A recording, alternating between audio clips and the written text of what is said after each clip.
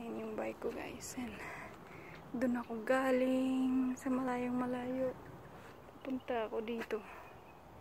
Yan guys, ipapakita ko po sa inyo yung yung malaking ano dito, saan ba yun? Hindi, hindi ma, hindi ganong ano dito kasi may mga puno eh. Yan, yung yung malaking area na yan. May naglalaro dito ng ano, golf. Ngayon masyado kasi maaga kaya wala pa, nasa trabaho pa yung mga tao. Kaya minsan daming tao dyan naglalaro ng golf. Yeah. Ayan. Yung tubig napakalinaw.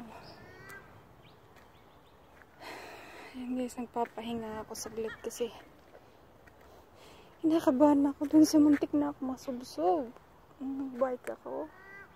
And then, buti na lang na ano, naka na itagilid ko konti yung bike and then tinukod ko yung isang paa ko pero muntik na talaga.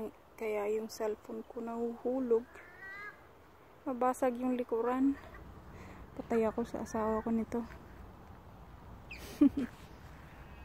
Pero okay lang yan. Yan guys. Um, meron dalawang mga baby na lumalangoy yung mga ibon doon. Yeah. Siguro may ano dito.